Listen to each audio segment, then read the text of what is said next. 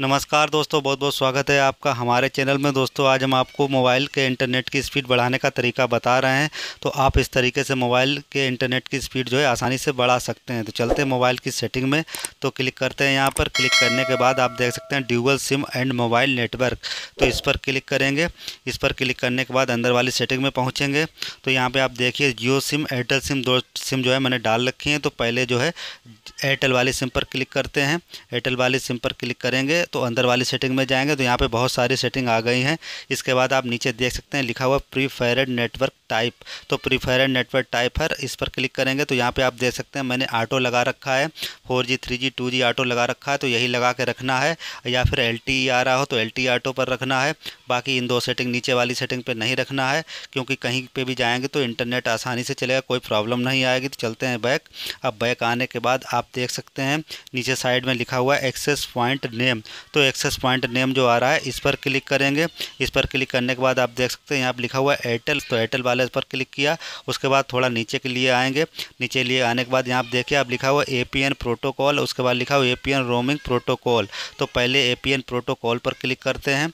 इस पर क्लिक करने के बाद इसके अंदर जो सेटिंग आती हैं, उनको जो है, यहाँ पे आप देख सकते हैं, अंदर वाली सेटिंग में आ गए तो यहाँ पे लिखा हुआ, यहाँ पे आप देख सकते हैं, इस पर लिखा हुआ आई पी बी फोर और आई पी बी सिक्स।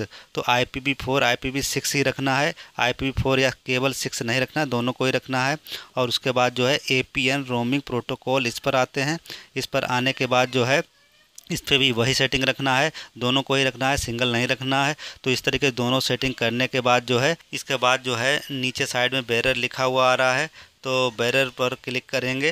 बैरर पर क्लिक करने के बाद जो है, इसके अंदर बहुत सारी सेटिंग आ जाएँगी। तो बहुत सारी जब सेटिंग आ जाएँगी तो उनको किसी को भी नहीं छेड़ना है।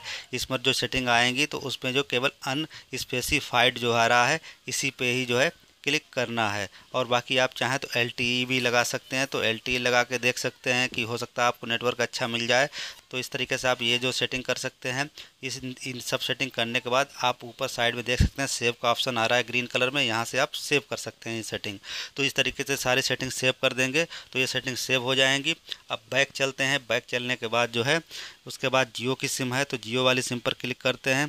इस पर क्लिक करने के बाद जो है, नीचे आप देख सकते हैं, इसमें केवल जो है एक्सेस पॉइंट नेम में ही क्लिक करना है. यहाँ पे जो लिखा हुआ है एक्सेस पॉइंट नेम तो इस पर क्लिक किया तो इस पर क्लिक करने के बाद आप देख सकते हैं, जैसे पहले में सेटिंग करना है, वैसे इसमें भी करना है I P V four and six इसमें भी ए पी एन और प्रोटोकॉल पर सेटिंग वही करना है सेम जैसे एयरटेल में की थी, और बेरर पर भी आपको अनस्पेसिफाइड भी करना है एल पर चाहे तो आप कर सकते हैं, यहाँ पे भी जियो फोर जी वाली में भी।